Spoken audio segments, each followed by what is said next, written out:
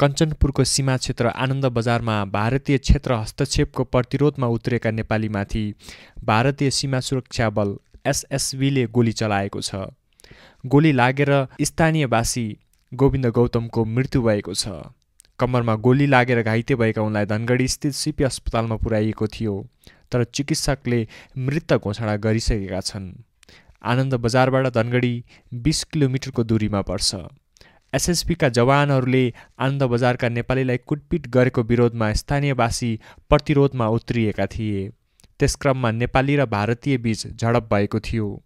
आनन्द बजार स्थित नेपाली भूमिमा नेपालीहरूले कलबर्ड निर्माण गर्न लाग्दा गुगल म्यापले भारतको भूमि देखाएको भन्दै एसएसबीले काम रोक्न धम्की दिएपछि विवाद सुरु भएको हो।